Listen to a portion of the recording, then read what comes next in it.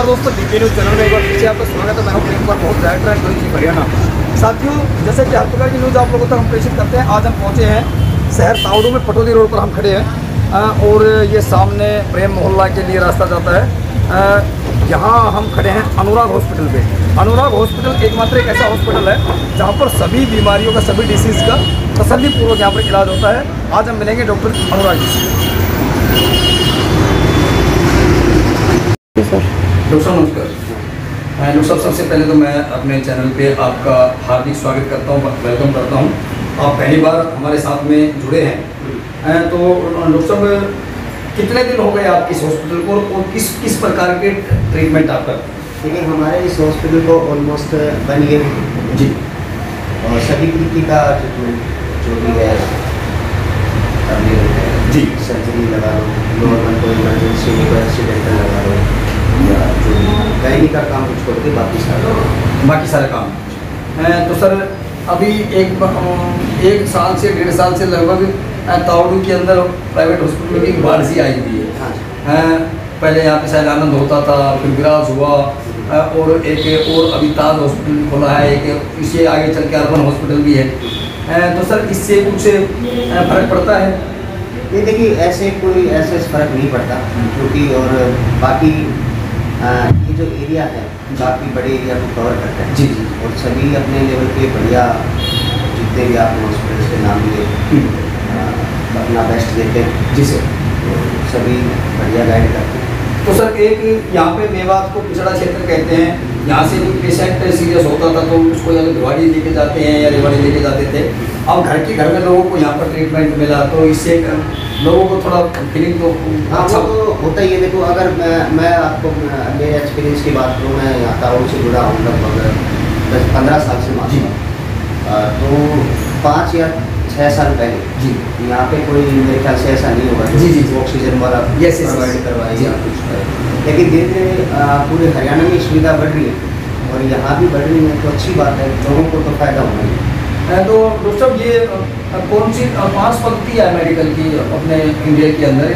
तो कौन सी पद्धति से आपने ये डॉक्टरेट की है तो हमारा जो है आयुष डिपार्टमेंट से। आयुष जी। बाकी एलोपैथी प्रैक्टिस भी है और जो भी आयुर्वेदिक से कुछ है। आयुर्वेदिक है इलेक्ट्रोपैथी है यूनानी है। अब जैसे यहाँ का लगा लो हॉस्पिटल्स का लगा लो। अब मैं आयुष से हूँ आयुर्वेदिक से हूँ। जी। लेकिन अगर मान लो कोई सर्जरी का पेशेंट होता है तो गुड़गांव से डॉक्टर आते हैं। जी। वही सर्जरी करते हैं उस हिसाब से।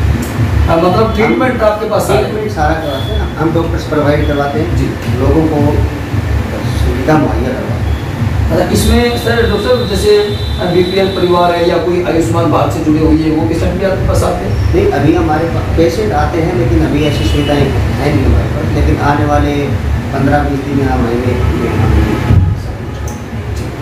तो डॉक्टर साहब इससे आगे कोई और क्लिनिक भी खोलने का आपका प्लान है कहीं और जैसे नहीं फ़िलहाल तो नहीं। बाकी इसको बढ़ा सकते हैं। जी हो सकते तो अभी सर कितना स्टाफ है? हमारे पास आठ लोग हैं। नौ दस लोगों का स्टाफ है तो सर अब जन्माष्टमी आ रही है और गोगा नवमी है तो आप क्या कहना चाहेंगे? आपके आपको भी और आपके सारे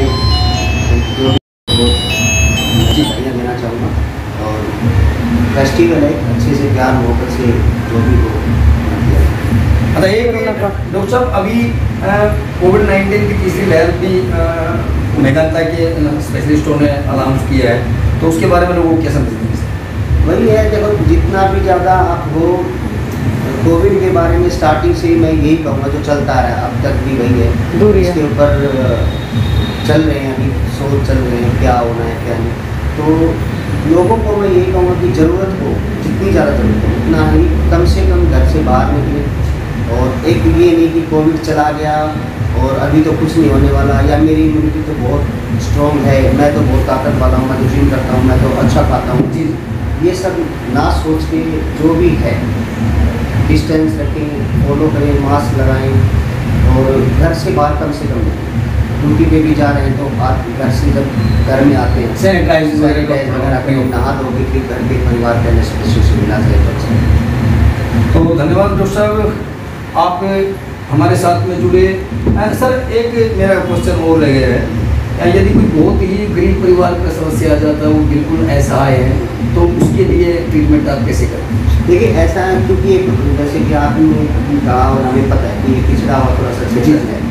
और ये हमारी रूटीन जो प्रैक्टिस है उसमें लगभग होता है। ऐसी चीज़ें तो उसमें गवर्नमेंट ने भी बहुत अच्छी सुविधाएँ दी हुई हैं। जैसे कि हम उनको स्टेबल करके यहाँ पे लंदन मेडिकल कॉलेज है उसमें जी। दे सकते हैं। या ताऊ के अंदर CHC सी एच सी है वहाँ पे भी बढ़िया सुविधाएँ दे रखी है गवर्नमेंट जी। हम वहाँ पे भी उनको रेफर कर सकते हैं। और जितना हमारे बस की बात होती है हम अपना जितनी हम अपना उनकी सहायता कर सकते हैं। सरकार